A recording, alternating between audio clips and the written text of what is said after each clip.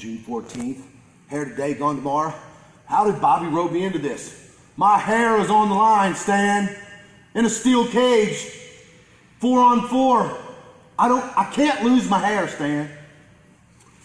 Look at it like this Bobby Doss is the one that has made the mistake because him, Jay Ice, they're all going to be locked in a cage with all of us with no way out. Yeah. Do you really think we're going to let that beautiful head of hair? I mean, for one second, did you ever think that we would ever let you lose your hair? Stan, This, this is Stan talking to you. You're not going to lose your hair. man, I always knew I could count on you, man. I'm glad, you, you know what? I'm glad we had this talk because I was a little worried. You know, my contract was up on the 31st of May. I don't really have no pool unless we win this match. Then I can be in control again.